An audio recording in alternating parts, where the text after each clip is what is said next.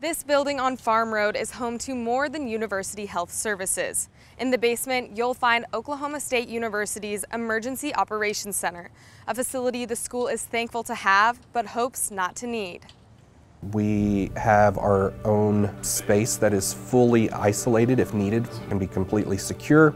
We also have our own ventilation system generator. We have the ability to, to operate for extended periods of time if needed um, without really much assistance from the outside. You never know. Uh, earthquakes, where we've been having them, this spot would uh, be activated. Uh, like you said, tornadoes, even flooding, or network outages. And we have been through all those even uh, I'd hate to say like bomb threats, pursuits. We can all get down here and, and uh, put all our heads together without having to try to make the phone calls to get everybody in at once.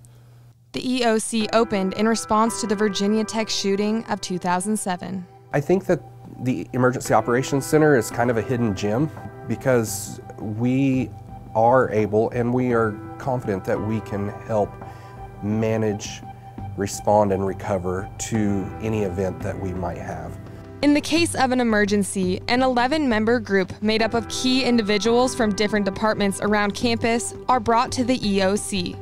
However, OSU Police Dispatch works in the EOC 24 7. This Emergency Operations Center should be ready to go and not be activated when an emergency happens. So moving dispatch down here just made more sense. Kind of make this place a warm spot, as you might call it. The center table has a seat for all members with laptops and phones ready to use. There is also a tactical communications center for dispatchers. An event that we had in 2019, our dispatchers took 90 emergency phone calls in 45 minutes. So they were completely tied up in phone calls. We had an individual that was a dispatcher that was sitting at that station that was able to share all that information with those from the emergency op operation group that did respond uh, down here so that they could have the latest information and make the best decisions possible for that time. Multiple screens and computers are used for webcasting, so all information is available to everyone. The facility is not only used when an emergency hits, but also when there is a significant increase in population on campus. We do also have what's called limited activations, and it is on a limited activation numerous times throughout the year. Every football game, we uh, grow in population as a, as a community.